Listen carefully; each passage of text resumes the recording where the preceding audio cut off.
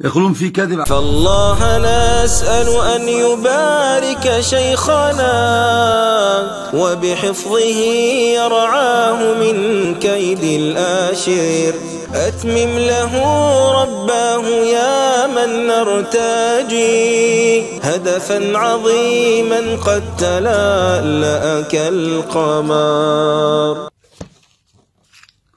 هنا عمر بن الخطاب رضي الله, عنه وارضاه يوم جمعة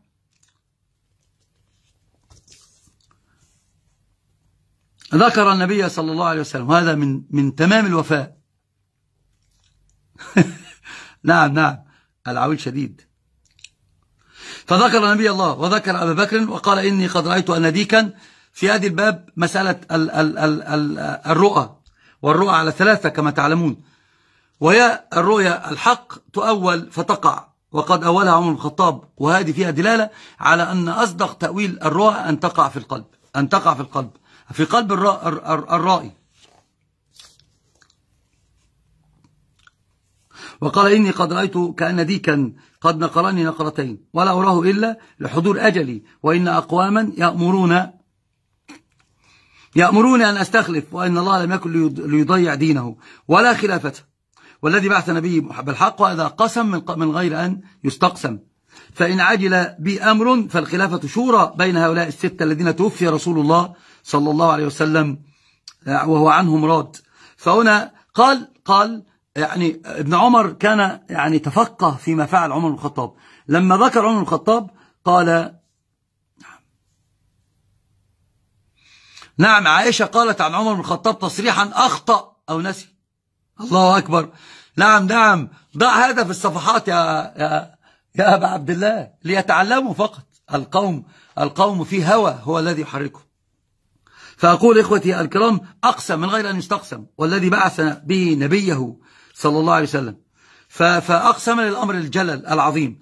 فإن عجل بي أمر فالخلافة شورى بين هؤلاء الستة. فالخلافة شورى بين هؤلاء الستة. الذين توفي رسول الله وهو عنهم راد. قال الخلافة شورى بين هؤلاء الستة الذين توفي عنهم رسول الله صلى الله عليه وسلم وهو عنهم راد. فابن عمر يقول لما ذكر النبي وذكر أبا بكر علمت أنه لن يعدل عن النبي بحال من الأحوال. أن النبي جعل الأمر بالإشارة على أبي بكر على الراجح الصحيح. وعندما قال ائتي أبا بكر وقال لا يأبى الله إلا, إلا أبا بكر وقال مروا أبا بكر فليصلي بالناس. فهو جعلها في الستة الشورى. توسط بين فعل النبي وبين فعل أبي بكر رضي الله عنه وأرضاه. ثم قال وإني قد علمت أن قوما سيطعنون في هذا الأمر. أنا ضربتهم بيدي على هذه على الإسلام. فإن فعلوا فأولئك أعداء الله الكفر أض الله. الذين يضربون كتاب الله بعضه ببعض وينكرون الرجم.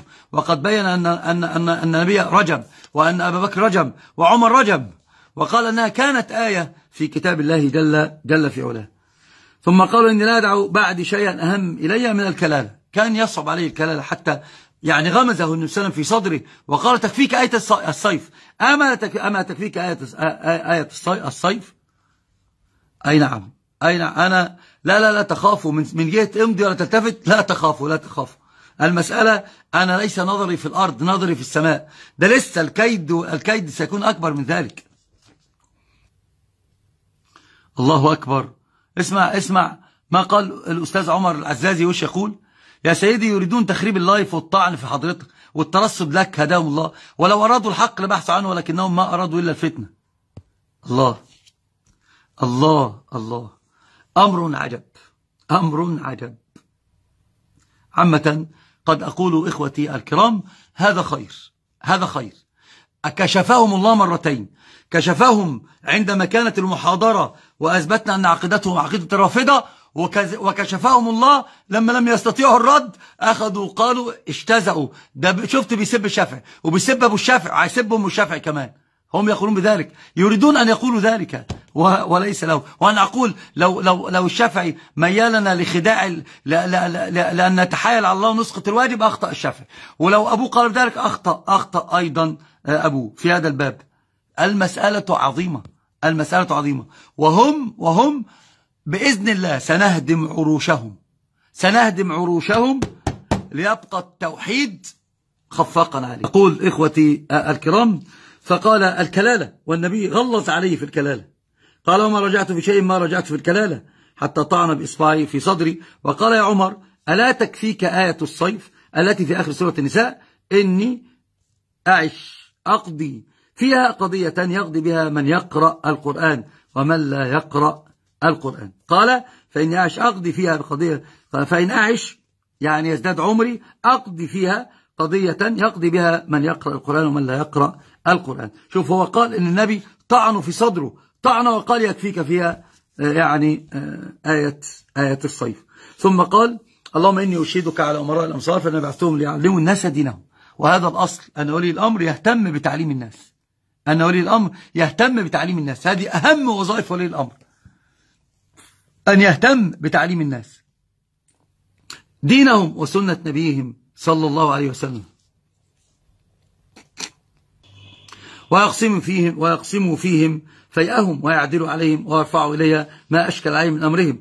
أيها الناس إنكم تأكلون من شجرتين خبيثتين. وهي التي قال فيها النبي صلى الله عليه وسلم أن الثوم والبصل شجرتان خبيثتان. قال من أكل من هاتين الشجرتين الخبيثتين فلا يقربن مساجدنا. فلا يقربن مساجدنا.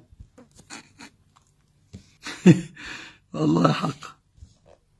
فلذلك قال قد رأيت رسول الله إذا وجد ريحها من الرجل في المسجد أمر به. وهنا في هذا الباب قال أن النبي صلى الله عليه وسلم وجد رجلا أكل من الثوم والبصل فأمر به فأخرج إلى البقيع. أخرج إلى البقيع.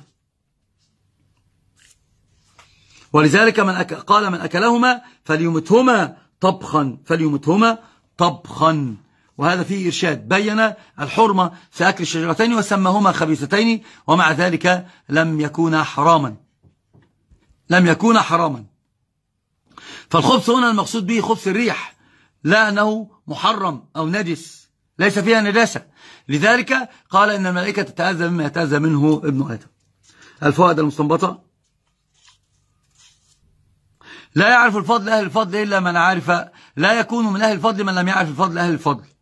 وذكر عمر النبي وذكر أبا بكر. قد يختلف العلم على السادة فيخطئون الصواب. هذا هو عندكم فائدة الآن. قد يختلف العلم على السادة فيخطئون الصواب. استغلقت مسألة مسألة مسألة الكلالة على عمر بن الخطاب. القسم من غير الاستقسام. الاستقسام من أجل من أجل إظهار الحق. جواز الأمر عفوا عن المنكر بالرد في تحقيقه أخرجه من المسجد. إذا أغلق باب لابد إذا إذا أغلق باب لابد أن يفتح آخر. فقال كأنه قال رجل طيب وماذا أفعل؟ لا أكل. قال له أمته بالطبخ أمته بالطبخ. إذا إذا أغلق باب فتح بابا آخر. همة علت الثريا فنالت من فنون الدين ريا. ولشيخنا همة علت الثريا فنالت من فنون الدين ريا. فذافق كسقي الماء كانا وتلك عقيدة السلف النقيا. وتلك عقيدة السلف النقيا.